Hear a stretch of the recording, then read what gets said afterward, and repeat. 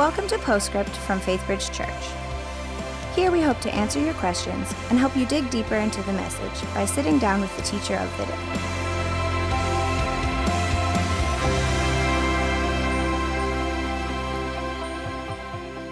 Hi, and welcome to Postscript. My name is Justin. I'm the worship and communications pastor here, and I'm with uh, Oh my gosh. I'm with Duffy Robbins, Yeah. uh, who just finished part one of a, a new two-part series on Ephesians. Thanks for being here, Duffy. yeah, my pleasure. Always fun to come back, Faithbridge. Thank you. So, what are? Tell us what are we walking away from today? What are the? So we're asked to work. What are we saying? yeah, well, There's first three of all, B's, an H, and two S's. there you go. There it is. There it is. Easy to remember. Um, I just can't remember what it was, but no, the the um, well, I think probably the the um, the big ideas this week are first of all that in Ephesians six, beginning in verse ten, we're talking about the armor of God, and so the first thing I want people to walk away with is the idea that that we really do have a this is not a play fight. That we really do have a an enemy. Um, on the other hand, I don't want us to overreact to that and be like, "Oh my gosh, uh, demons are everywhere. I don't want to leave the house. I got to pray whether to have Cheerios or Raisin Bran because the enemy might be deceiving me."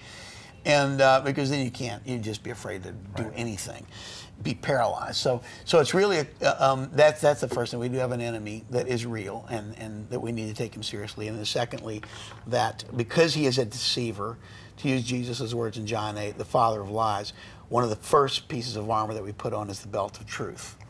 Because what, what better, what more appropriate weaponry when you're facing a deceiver than truth? And then, um, secondly, to talk about righteousness, which protects the heart. So those are kind of the three big things I wanted to say. Well, so you talked about uh, the Satan and the deception. I think that came across really well. Some really touching illustrations. What, what are what are some of his strategies on uh, deceiving us? Well, um, well, first of all, Satan can't create anything. All he can do is pervert God's good creations. So, um, so he takes God's good gifts and um, and he perverts them. So you know he takes. I mean, sexuality is a great example. He takes the gift of sexuality and he perverts it. So that so it's not a matter of God going, no, sex is bad, sex is good, but Satan perverts it, and he makes it into something bad. Um, one of the ways it's easy to uh, to talk about it, if you're if you're watching and you want to kind of explain this to your children, uh, one way to kind of think about it is, you, is that, that God is the giver of life, that He wants us to live life abundantly, and so you just spell out the word li uh, live, L-I-V-E. That's God's gift. Satan perverts that, and if you pervert the word live, it's E-V-I-L. Do you know that? Yeah, that's evil. So, Sorry, I so wasn't, it- I wasn't listening. I'm afraid that's what I was afraid of. I noticed your mind wandering, but um, but yeah. So that that that um, that's kind of a, a, a metaphor of the way Satan operates. He takes God's good gifts and perverts them. You know, either by either by making it seem you know distorting it, making it bigger than it should be, or making something good smaller than it should be. Um, but yeah, that, that I think is the basic strategy. Satan can't create anything, but he can pervert God's good gifts. That's good. Um, moving on to the belt of truth. Belt of truth, yeah. I think we all know, we believe that there are certain fundamental truths. When I drop this, let go of this pin, it's going to drop. I know that gravity is. Yeah. Mm-hmm. a truth. What are the other ways? I also know there must be truths, and and you can ask that and say, well, the Bible. What are ways Yeah. we can discern real truths? Right. Well, in fact, you don't really know the pin will drop. You think it will because it has every other time you dropped it. But we don't know. It could be that there's a law of gravity that that every, you know, gazillionth, you know, time somebody then gravity doesn't work. So so even the things we think we know, we don't. We don't know. Um, you know, with absolute, you know, with absolute clarity. Um, but but uh, we, how do we do truth? I mean, the um, and you just this is an important question. I mean, like it, you know, some of our uh, some of the people who are tuning in, you know, will be familiar with the word epistemology, uh, which means how do we know what we know? Epistemology sounds like the study of anger. Uh, but uh, but actually, Wait, how, yeah. how do you spell? Wait a minute. P-I-S-T. but uh, but but but basically, it's yeah. How do I know? It comes from pisteuo. How do I know what I know? And here's the problem: is that I I realize that my perceptions are distorted by my background, um, and so that that causes me sometimes to be suspicious of my you know what I believe to be true, and it caused me to be suspicious of what you be true because I know that, that distortion is true for me, it's true for you. That's one of the reasons why in the church we um, really need to embrace not just Scripture, although that's important. We need to also embrace the tradition of the church because that is 2,000 years of our brothers and sisters in Christ who also have been led by the Spirit. Um, and and and the creeds come to us as sort of an affirmation of these truths that have been tested by time. We still we we still um, you know you, you, it's still possible that God might do something new, just like the pen might sometime fly up, but um, because that's what happened with the Reformation, and and, and it can happen, but.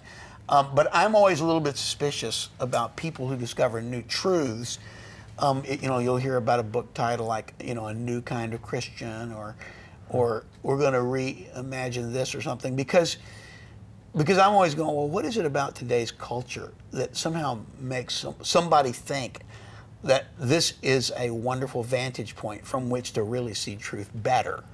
You know, I mean, we live in an age where people get pumped about cat videos.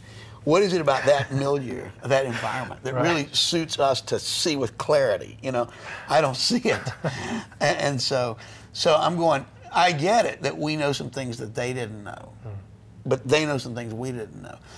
Um, that that uh, and then there are people who go, well, yeah, but it's not. How do you know it's truthful? It's absolute, you know, unless you're absolute. The way I, the way I've heard it explained um, by a guy named Paul Hiebert, um, who wrote a fascinating book called, um, what's it called? The Missiological Imp- uh, uh, Implications of Epistemological Foundations. Believe it or not, that was the book title. but it's a great book. It's a little thin little book, but a great book. But anyway, he, he said, if you think about a map, when you look at a map, the map is not really telling you the truth. Right? Like, like if you looked at a map of Pennsylvania near where I live, there'd be a red square for King of Prussia Mall. But if you went to the King of Prussia Mall, you'd see it's not a red square. Right. The red square in Moscow. So you go, no, that's not that's not real there. And if you looked at the Schuylkill Expressway on the map, it's blue. But if you went to the Schuylkill Expressway, it's not blue. If you look at the Pennsylvania Turnpike, it's on the map, it's green. But if you go there, it's not green. So that map is not telling us literal truth. On the other hand, it's got to it's got to correspond to reality. In other words, if I go to the intersection of the Schuylkill Expressway and the Pennsylvania Turnpike and Route 202, if there's not a mall there, then that's not truth.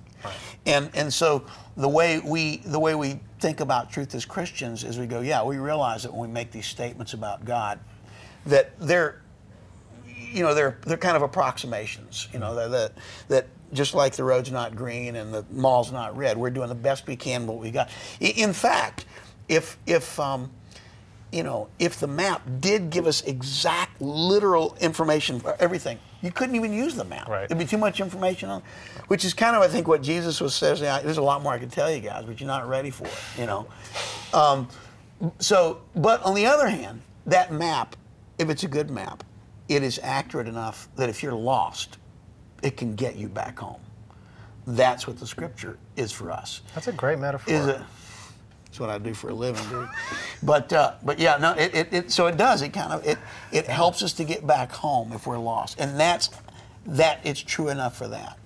So I'm always suspicious. Uh, I think I think we want to be suspicious of the person. All I need is my Bible because every every heresy has been foisted on the church by somebody who just had their Bible, and that's why it's even though we're sola scriptura, solely the Scripture, we're also Scripture and tradition because tradition is 2,000 years long and a worldwide. Right.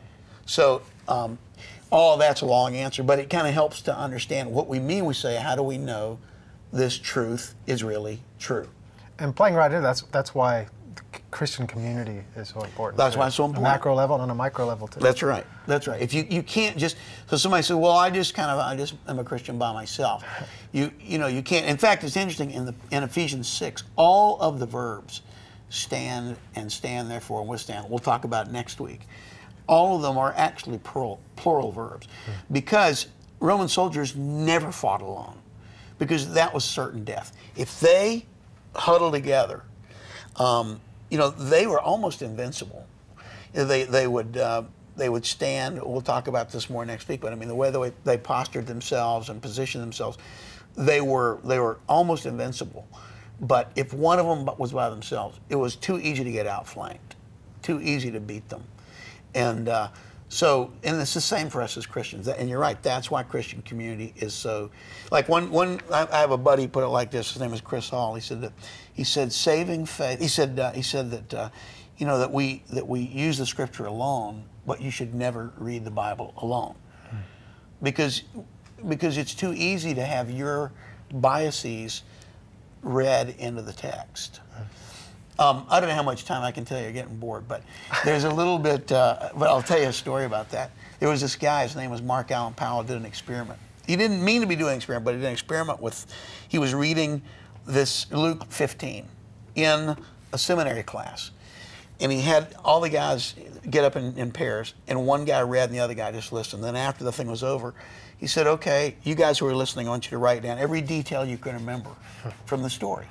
So they did that. There were about a, there were about uh, the first time I did it, there were six. The second time I did the experiment, there were about hundred people. Um, out of the hundred, only about six percent, um, only six of them actually noted in Luke 15 that there was a famine. Most people don't, when they read the story of the prodigal son, they don't notice that there was a famine. So he thought that was interesting that, that 94 out of 100 guys didn't notice the exact same detail. So he tried the same experiment. Later, he was teaching in uh, St. Petersburg, Russia. And it was just the opposite.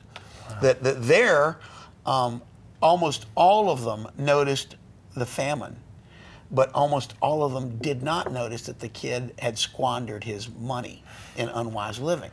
And so he said to the Russian guys, he go, hey, hey, you know, do you realize you, you left out the money? They go, and he told them the American guys, all of them nailed that part. They go, yeah, that's capitalism for you. You know, that's for them. That's the worst sin the kid committed was he wasted his money.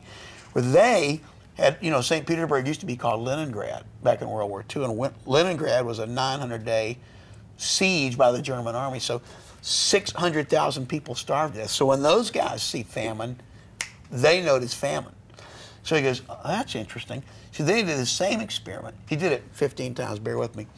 But no, he did it one more time. But uh, he did the thing again in Tanzania.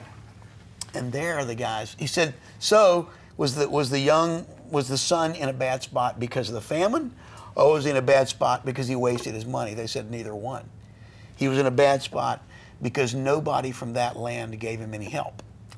They noticed a, a section of the text that neither of the other two parties had seen. And of course, a lot of those people have relatives who are living in other countries where they know the trouble of trying to navigate an economy that's not your own. So, all that's to say that if I read the text by myself, I am not going to see certain things that I need to see. And if I, and I'm going to see certain things that you know that maybe are convenient for me or fit my. That's why, that's why it's so important to have the community That's great, Duffy. because truth is a, is is communal in Yeah. that sense. And hence doing communion today. Yes, that's right. See, Perfect. I knew there was a reason. Yeah, that's that, right. That makes sense. Duffy, thank you so much. I've got, I'm a lot- I've really got- I've got a lot more to talk about. Uh, I- well, Josh is going to go and step in here. and I'm going to go to lunch. Okay. I'm just kidding. It, Well, I can just talk about it after the camera's off. well, nobody's watching this anyways. I don't, they- we don't even record these. So. Okay. Uh, but seriously, I'm really looking forward to next Sunday too. Me too. Thank Yeah, you for thank doing you. this. You bet. Always good to have you. yep. See everybody next week. Yeah. See you next week. See you guys. Have a great week. We'll see you then. Thanks for joining us for Postscript. Help us keep the podcast interactive by submitting your questions during the morning services. Learn more at faithbridge.org forward slash postscript.